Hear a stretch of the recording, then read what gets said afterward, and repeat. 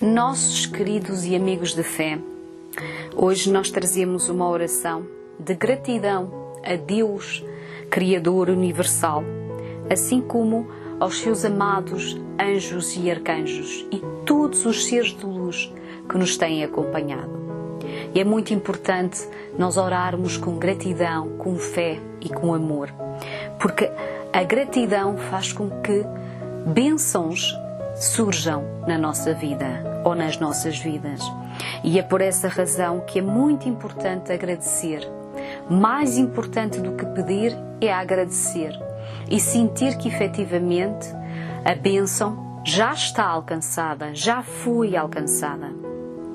Por isso, vamos então rezar esta oração com todo o nosso coração, com todo o nosso amor, com toda a nossa fé. Eis a oração. Querido universo, hoje levanto os olhos para o céu com o coração cheio de gratidão. Agradeço por todas as bênçãos que tenho recebido em minha vida, pelas pessoas queridas, pelas oportunidades, pela saúde e pela alegria que me rodeiam.